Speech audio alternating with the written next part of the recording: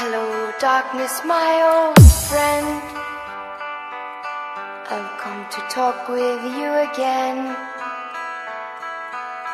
Because a vision softly creeping left its seeds while I was sleeping. And the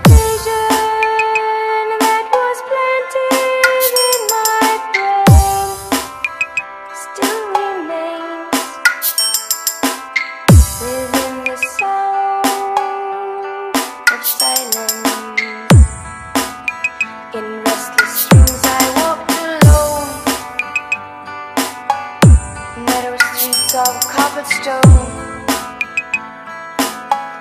Neath the halo of a street lamp, I turned my collar to the cold and damp. When my eyes were stabbed by the flash of a neon light that split the night